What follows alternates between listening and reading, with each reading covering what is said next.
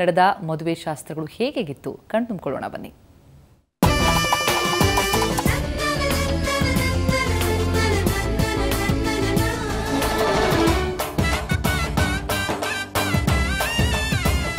ಸಾಂಸ್ಕೃತಿಕ ನಗರಿಯಲ್ಲಿ ಸಂಭ್ರಮ ಮನೆ ಮಾಡಿದೆ. ಶ್ರೀ ಯದುವೀರ ಕೃಷ್ಣದತ್ತ ಚಾಮರಾಜ ಒಡೆಯರ್ ಹಾಗೂ ತ್ರಿಷಿಕಾ ಕುಮಾರಿ ಅವರ ವಿವಾಹ ಮಹೋತ್ಸವಕ್ಕೆ ಕ್ಷಣಗಣನೆ ಆರಂಭವಾಗಿದೆ.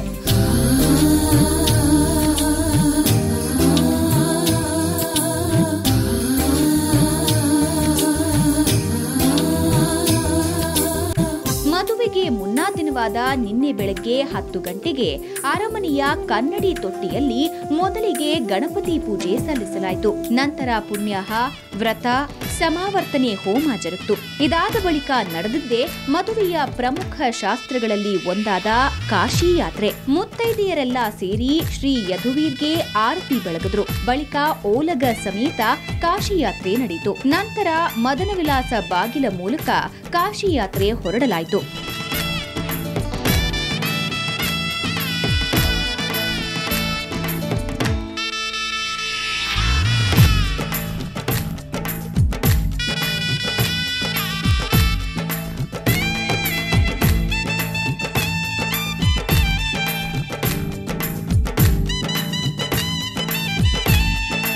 ನಂತರ ಕಾಶಿ ಯಾತ್ರೆ ಮೆರವಣಿಗೆ ಮುಗಿಸಿ ವಧುವಿನ ಮಾತಾಪಿತೃಗಳಿಂದ ವರನ ಪಾದಪೂಜೆ ಕೂಡ ನಡೆಯಿತು.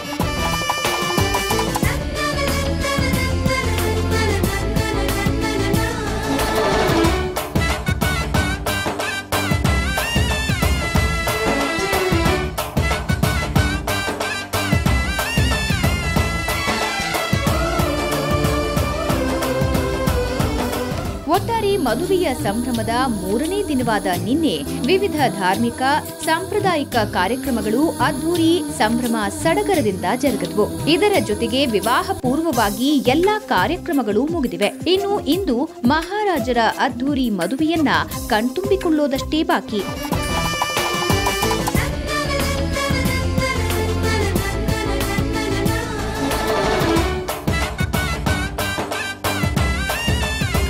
ಮೈಸೂರಿನಿಂದ ಕ್ಯಾಮ್ರಾಮನ್ ಪ್ರಮೋದ್ ಜೊತೆ ರವಿ ಪಾಂಡವಪುರ ಸುವರ್ಣ ನ್ಯೂಸ್.